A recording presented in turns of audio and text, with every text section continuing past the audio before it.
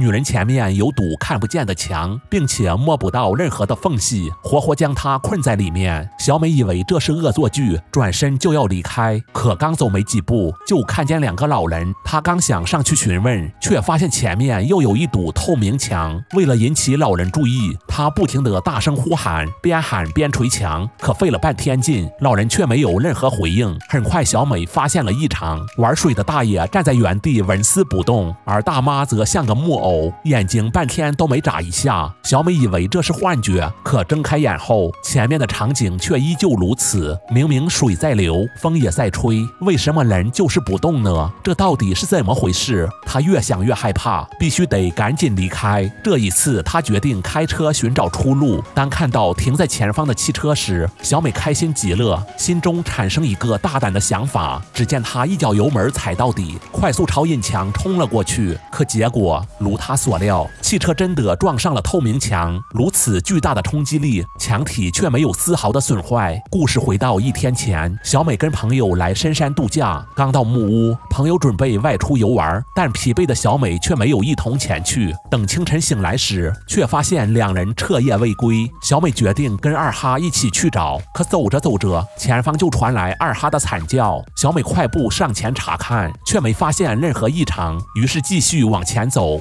可二哈却在原地一动不动。等再次催促时，二哈竟直接溜了。小美有点蒙圈，突然。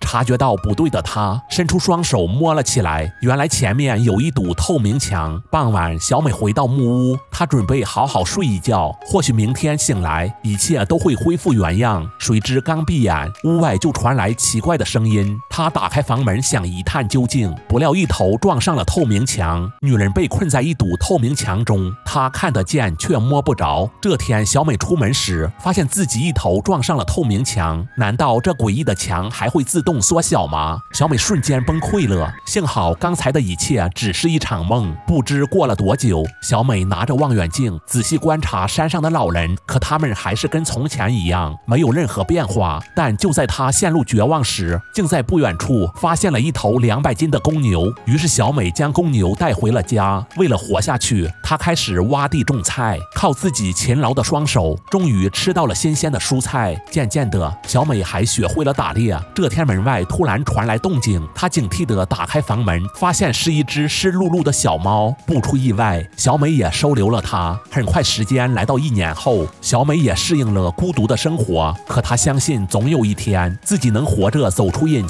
墙。为此，他每天都会准时查看墙体。直到这天，在回去的路上，小美发现了一辆红色的伐木车，上面的木头还在轻轻的摇摆，好像有人动过一样。抱着一丝希望，小美走了过去。谁？知没走多远，又被讨厌的引墙拦住。第二天，小美像往常一样寻找出口，突然二哈像看到了什么，随后疯狂地朝远处跑去。等小美追上时，居然看到了一个男人，饥饿的他正在杀害一头公牛。见二哈在拼命阻止，小美赶紧跑回家里，脱下背包，举着猎枪，急忙去救公牛。可等他再次返回时，男人的砍刀对准了二哈。危机时刻，小美扣下了扳机，男人就领了。盒饭，但遗憾的是，二哈也停止了呼吸。在安葬好心爱的宠物后，小美将男人推下了悬崖。故事到此结束。不过，这到底是怎么回事呢？一个巨大的罩子从天而降，溅起无数烟尘。一头倒霉的奶牛瞬间被劈成两半，地上出现一条裂缝，房子也被一分为二。树上的乌鸦都飞到空中，地面不停地晃动。二十里外都刮起了飓风。大壮好奇地走了过去，伸出手来，却摸到一堵看不见的墙，还有阵阵电流传来。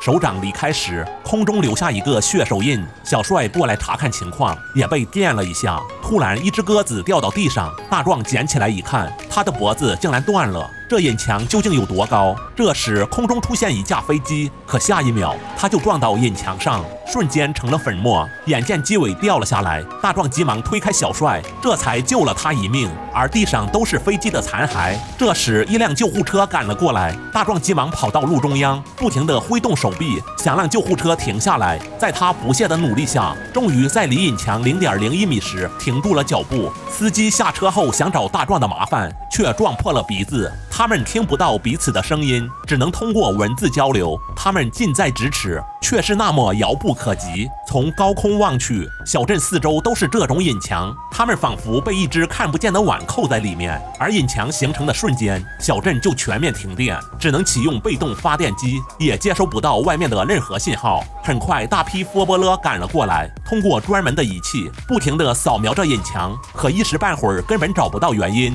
他们通过广播让小镇居民不要开车外出，可这一家人却不以为意。突然，眼前发生了可怕的一幕。这是一堵看得见却摸不着的墙，近在咫尺却远如天涯。万米高空的飞机撞上它，瞬间就成了粉末。一辆轿车正在高速行驶，对面的货车撞到墙上，瞬间就散了架，车头缩进了车厢里。他们急忙下车查看情况，身后的美女直接倒在地上，眼睛上翻，嘴里吐出白沫，还不停地说着“世界末日来了”。很快，她就被送到医院里，而这里也挤满了人。小伙前一秒还在聊天，天下一秒直接倒在地上，口吐白沫，身体不停的抽搐，症状跟之前的女孩一模一样。科学家还在研究隐墙，小帅把手伸了上去，没想到水真能渗透过来。一对情侣来到地下十八层，想从地下逃出去，没想到这里也被隐墙笼罩，手电掉到地上，竟然发生了爆炸。波波勒只是摸了下隐墙，突然把手电筒扔到地上，双手捂住胸口，下一秒心脏喷出一股血液，原来是起搏器发生了爆炸，跟隐墙接触的电子设备都会失灵。刚开始人们觉得无所谓，还办起了。篝火晚会，可随着时间的推移，人们越来越暴躁，在墙上喷满油漆，甚至开启了零元购模式，催泪弹都奈何不了他们。幸好及时下了场大雨，人们这才冷静下来，终于看到了一丝希望。令他们吃惊的是，墙内大雨倾盆，墙外则是晴空万里。随后，隐墙也有了变化，上面密密麻麻铺满了蝴蝶，手轻轻触摸一下，蝴蝶都被惊走了。透过隐墙看到，佛波勒把他们的家人接了过来，因为彼此都听不到，他们只能举着牌子，用文字倾诉着彼此的思念之情。大壮找了个会读唇术的。女孩随后亮出徽章，佛波勒立马走了过来，给他行了个军礼。大壮问他外面现在什么情况，佛波勒的回答让他大吃一惊。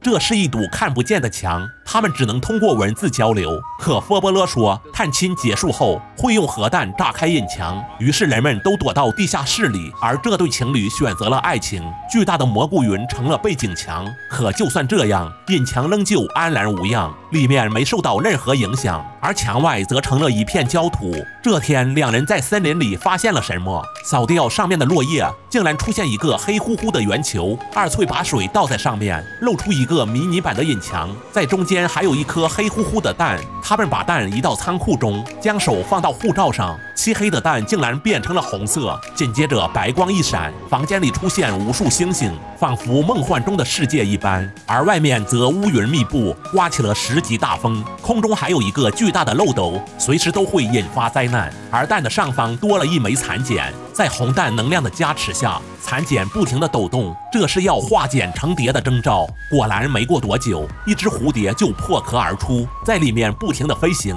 可它碰到穹顶时，隐墙上就会出现一片污渍，不一会儿，穹顶就一片漆黑，蝴蝶也落到了地上，而外面的天空也如出一辙，污渍在快速蔓延，眨眼间天就黑了下来。从外面看去，小镇就像一个巨大的黑色鸡蛋，而护照上出现四个鲜红的掌印。他们把手放到上面，黑色外壳发出一道白光，越来越亮。随后，砰的一声发生了爆炸。小美把蛋捧到手中，来到湖边，把蛋扔到海里。下一秒，水中冒出一片红光，紧接着腾空而起，比烟花还要美丽。它们越升越高，在接触穹顶的刹那，空中出现一道白光，并且迅速扩大。不一会儿，天就亮了起来。穹顶之下第一季到此结束。你觉得这个巨大的蛋是怎么来的呢？他们最后出来了吗？如果你被封印在里面，待多久才会发疯呢？